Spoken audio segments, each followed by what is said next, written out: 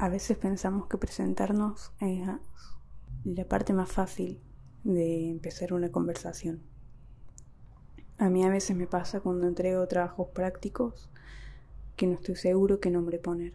A veces me pasa cuando conozco a alguien, no estoy seguro qué nombre decirle que tengo. A veces me pasa que voy a la casa de mi familia y me nombran con un nombre que ya no existe. Soy Cairo. Ese es el nombre que yo mismo elegí para mí mismo. Mi identidad legal es masculino. La identidad percibida socialmente sobre mi cuerpo es femenina. La imagen que yo tengo sobre mi cuerpo y mi identidad es no binaria. De todos los nombres que puedo tener, elijo Cairo. Y de todas las cosas de las que puedo fotografiar, me fotografío a mí mismo quería hablar particularmente acerca del autorretrato. Porque cuando pienso en el autorretrato lo primero que se me viene a la mente es la búsqueda del quién soy. Pero no soy solamente yo quien va a responder a esa pregunta. Mi identidad surge en el encuentro con un otro. Ese otro va a ser para mí mi espejo y mi diferencia.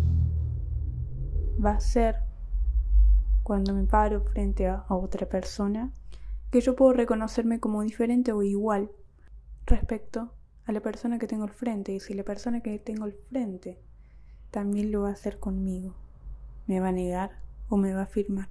En el encuentro es donde la identidad resurge, no está en mí ni está en el otro, está en el medio, está en la interacción siempre distinta y siempre cambiante en ese momento cobro conciencia de que yo también soy un otro y mi deseo de reconocimiento es un proceso activo en donde me relaciono con la norma.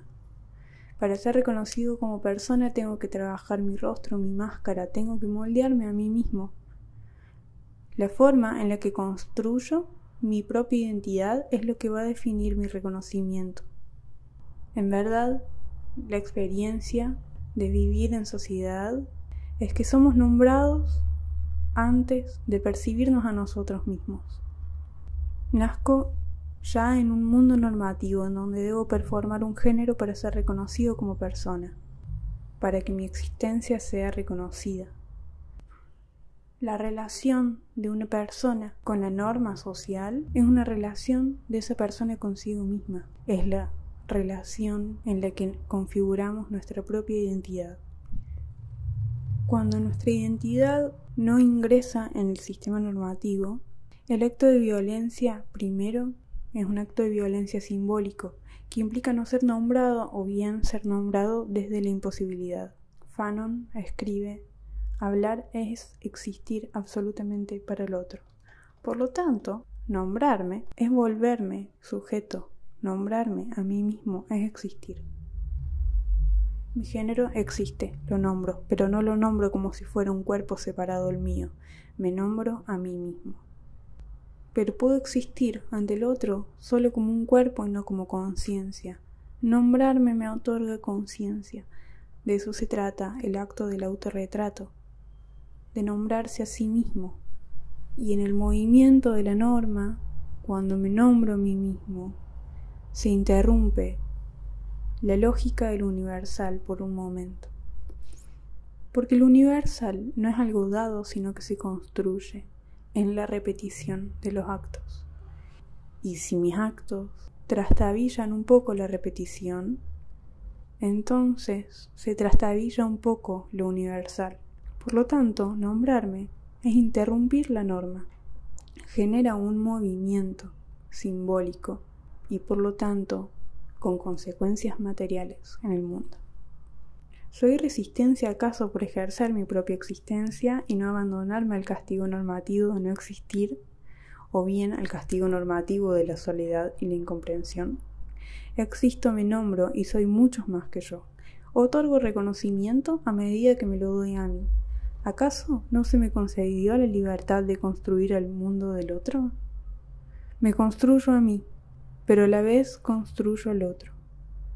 Cuando interrumpo el relato del otro sobre mí, interrumpo con mis preguntas y cuestionamientos.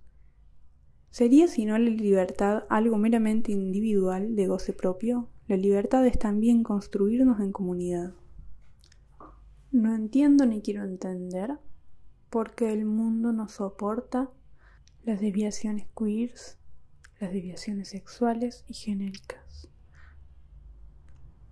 ¿Por qué nuestra felicidad está condenada a ser precaria e incluso peligrosa? Sarah me decía que nuestra infelicidad queer quizá implica nunca sentirse como en casa, como una forma de denunciar y deslegitimar el mundo que vivimos. Yo no acepto la infelicidad como destino. Por eso insisto en mi propia existencia y en la existencia de nuestros deseos de nuestros cuerpos, de nuestras vidas.